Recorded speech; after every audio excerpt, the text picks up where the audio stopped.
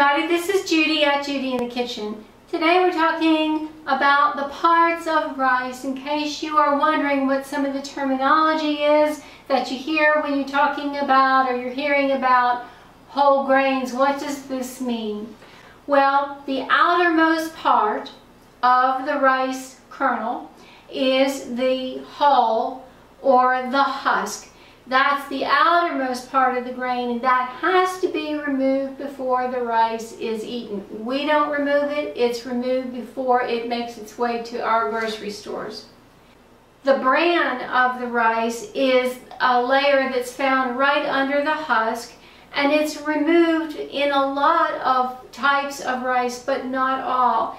It does contain a lot of fiber and a lot of nutrients that makes uh, a whole grain rice very healthful because a whole grain rice will have that bran left intact.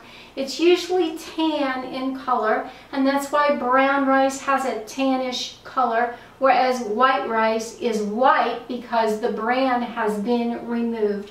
But not only can it be tan in color, it could also be reddish or black depending upon the variety of rice.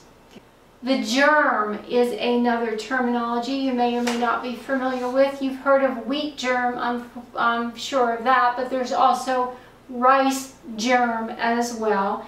And it's found under the hull and it's a very, very nutrient dense part of the rice kernel. It has a lot of B vitamins in there and minerals and protein as well and it, it does help to give rice its color.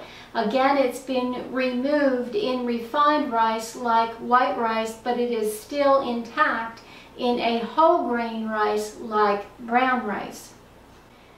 Now you may or may not have heard of the term endosperm. That is the inner core of the rice and also a wheat kernel as well.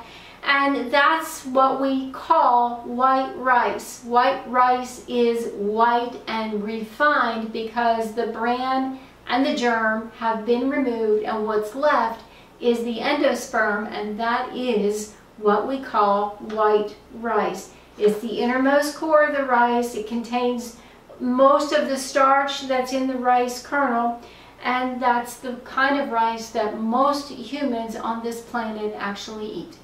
Well, I do hope that this answers your questions about the different parts of rice. This is Judi at Judi in the Kitchen. Bye for now.